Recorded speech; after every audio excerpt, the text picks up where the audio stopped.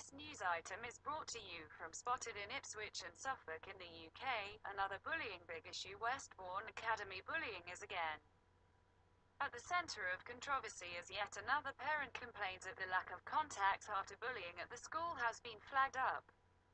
Anonymous posted, I too have had problems with the head teacher at Westbourne.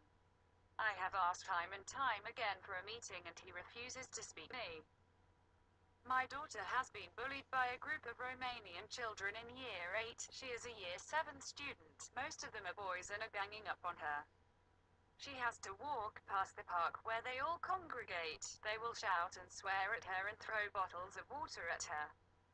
She has reported it multiple times to the teachers and nothing has been done. This group of students are a lot bigger for their so-called age and tower over my daughter. She has been threatened and recently spouted by this group. I now have to drive my daughter to and from school to make sure she is safely inside the building. But this doesn't stop the bullying at lunchtime and during the time she moves around school for lessons.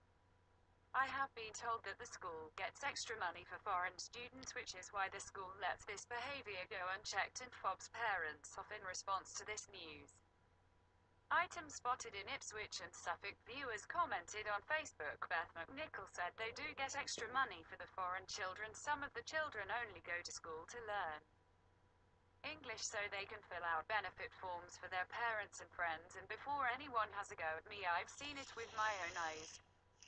Bellend said all schools have limited powers on events that happen outside of the school grounds. This is not a school issue, it is a matter for the police.